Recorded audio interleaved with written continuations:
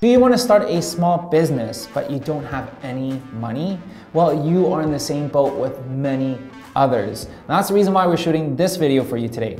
Seven ways to get funding for your small business so then that way you can turn your dream into a reality. Hey guys, it's Wilson here, your friend in helping you start your very own dream business or a thriving food business. If you guys want more tips, tricks, and strategies, make sure you guys smash the like button. Every day I get messages like this all the time. Hey Wilson, I wanna start a restaurant. Hey Wilson, I wanna start selling food online. I wanna start a small business, but I have no money. And that's the reason why a lot of people are wanting to start a side gig while they're working their nine to five. So then that way, one day they can quit and be their own bosses. Or they just wanna be able to quit right now and be their bosses right now. Now the question always comes back down to, I have no money. And when we first started our ice cream shop, we had no money too. And that's the reason why I know these seven tips to get funding will be so helpful for you. Let's dive right in.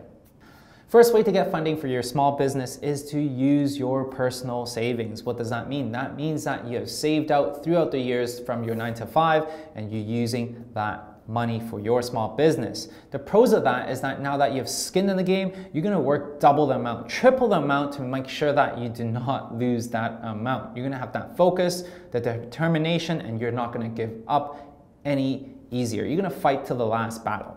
The second point is that you don't have anyone to answer to. You don't have the pressure to answer to other people. And sometimes the pressure that you have on your shoulders when you're using your investors' money is a lot more than the pressure that you have on yourself. And thirdly, the banks love it when you have skin in the game. They love it because now you're willing to risk your hard earned money on your business. So it makes it easier for you to get loans in the future as well. Now, the cons of using your personal savings is, is the fact that usually that amount is quite limited, and that really limits on what you can do with that amount. Who is this for? This is for people who want to get started right away. Second way to fund your small business, it is to ask your friends and family. Now, how do you do that? Literally, you go to your friends and family with a proposal that you've drafted, sell them on the idea of why you need the money. What is your proposal? What is it that you're trying to sell and how you're going to get back the money? Bring it to them, and most likely you're going to be able to get some kind of funding. The pros of that is that usually friends and family, if you have a good relationship with them and if you have a good track record, they will always be there to support you. The pros of that also is that usually the proposals are not as complicated. You don't need to do as much due diligence. You don't need to do the SWOT analysis and all those crazy scenarios and projections, much easier than getting a loan from the bank, angels, or venture capitalists. Now, the cons of that is that it does put a lot of strain in your relationship with your friends and family and a lot of pressure on yourself because if you do fail, it's gonna be a very embarrassing and awkward family dinner you're gonna have with your friends and family. So definitely it is for those people who are desperate to get started and really, really wanna be able to see through their idea. Third way to get funding for your small business is through angels. Angels are private investors who have some money to invest in ideas. Now, for you to actually get angel investors, it is usually through your connections or friends of their friends. And a lot of times you can actually meet these people at certain networking events as well. The pros of raising funds through angels is the fact that you can actually tap into their resources, their networks, and to get mentorship from them. And on top of that, usually this amount of capital ranges from 100,000 to half a million dollars. So that means that you do get a lot more funding from these angel investors. But the cons of that is that it does require you to be able to locate them, does require you to have some relationship with them, and it does require you to be able to have a very solid plan in order for you to sell it to them. Another con is that you are definitely going to lose ownership in your small business when you have your angels invested as well because typically that transaction would require you to give away ownership. Now, who is this for? This is for the people who have a little bit more business acumen, a little bit more intermediate when it comes to business, and that's who's it's for. Fourth way to get funding for your small business is through venture capitalists. Who are venture capitalists? These are people who does investing in small business as a profession. These are people that are one step above the angels. How do you get a hold of them? Usually you get a hold of them through having a proven track record on your small business already. We don't go to them when you're just starting out because usually they would want to see a proof of concept before they would invest into you. The pros of getting a venture capitalist to invest with you is the fact that usually that goes from $500,000 all the way to the millions of dollars. So you have a lot of money to play with. And on top of that, they have a lot of connections. They can give you guidance and mentorship on the best way to actually go ahead with your business to grow it to that level where they can see the return for themselves. Now, the cons of working with a venture capitalist is the fact that you're gonna give away a lot of ownership of your own business. And on top of that, you're gonna be answering to your venture capitalists and also really be a lot more money focused instead of passion focused because all they care about are the returns for their investment. Now, who is this for? This is for the people who already has a proven business, that proof of concept, that they have proven that their concept is working and that the market would give them back that return. That's what it's for. If you guys enjoyed this video and find value in this video, make sure you guys smash the like button and let me know this is the type of content that you enjoy. Now, back to regular programming. The fifth way to raise funding for your small business is through incubators. Now, what are incubators? Incubators are basically schools for businesses. And when you apply to them, it is actually quite difficult to get in because with different business schools, they only accept on an average 1 to 2% of the applications because what are they going to provide? They're going to provide very focused mentorship to you if you're accepted.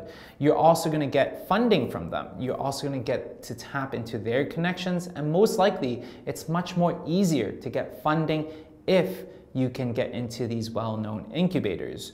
Now, the cons of working in an incubator is the fact that you need to give up ownership. And on top of that, usually it does take a very, very difficult process to get into these incubators. So it's not something that you can have in a very short period of time. Now, who is this for? It is for people that have a longer term vision that wants to get mentorship in how to build their business from scratch and for the people who are willing to give away ownership. Definitely, if you're looking in towards getting funding through incubators, all you have to do is to type in incubators plus your city to find out a list of incubators that you can apply for. Now, to share a little bit of a personal story with you about my experience with incubators, is that when I first started my business journey, this was 10 years ago, I started a tutoring academy. And at that time, I didn't know what to do, I didn't know how to build my business, and I needed the funding, and which is the reason why I applied to a local Vancouver incubator and tried to get in. I went through three different interviews. I tried to network with them through different social gatherings, and I finally got to the final stage. But at the end, I was declined after six months of this whole interview process. I was declined because I was the only founder of the business and they were looking for people that has multiple different partners because their criteria for accepting businesses was that they found that founders with partners are much more highly likely to succeed. That's the reason why I was declined. And for me, I didn't give up there. I went out and created my tutoring company despite the fact that I didn't get their mentorship. And after three years of running this business, I sold that business and we were able to actually expand to Toronto and Vancouver as well. So the moral of the story is to never give up on your dreams. The sixth way to get funding for your small business is through fundings and grants. A lot of times governments have a lot of grants available for you to start your small business because they want to be able to promote you to move and get the economy moving and growing all the time. Now, the pros of having these grants is the fact that you oftentimes get free money from the government. And on top of that, a lot of times they come with mentorship on how you can build your business and how do you use your funding. And that really helps you grow your business if you're new.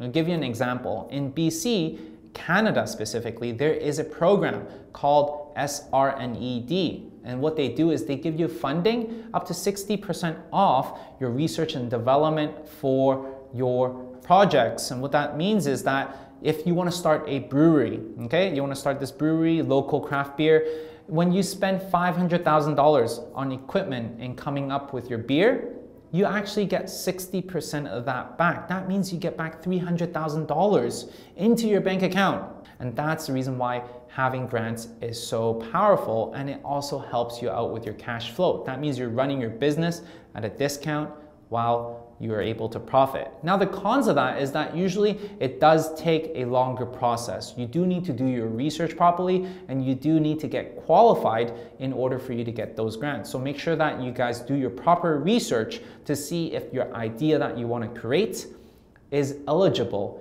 in the government grants. The seventh way to get funding for your small business is through bank loans. Now, a lot of you guys think that loans might not be a good thing. However, loans can actually be a very good thing, especially with what's going on in the world today because the rates are very low. That means you can actually use other people's money to generate money for yourself and usually that rate ranges from 3% to 5% depending on your credit.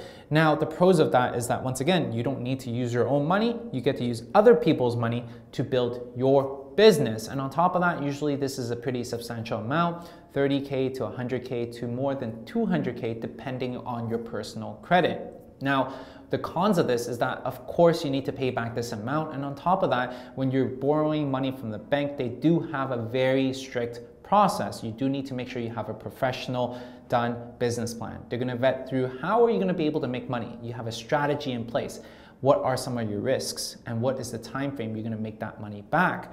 And on top of that if you do fail it does hurt your personal ratings and your personal credit as well. And that's the reason why you probably should really reconsider before getting a loan from the bank now, who is this for? These are for the people who has a solid plan and solid foundation for building the business. They know for a fact that, hey, you know what? We know and we have a solid plan to move forward to build this business. Something like a restaurant, people would oftentimes take out bank loans to build their restaurant because they need that cash flow to begin and running their restaurants with equipment, with renovations, and with hiring as well. And throughout the years, they can slowly pay that off to the bank. Now, that's exactly what we did when we first started 720 Sweets. We took out a bank loan because we know for a fact that when we have that cash flow, we can invest in the equipment, which in turn we can pay off for a few years down the road. And for us, we're actually able to pay off our loan within the first six months of opening up our ice cream shop. So there you go guys, the seven ways to get funding for your small business. And I'm not sure if you guys are aware, but out of the seven, five of them requires you to have a solid business plan, to have solid business foundation.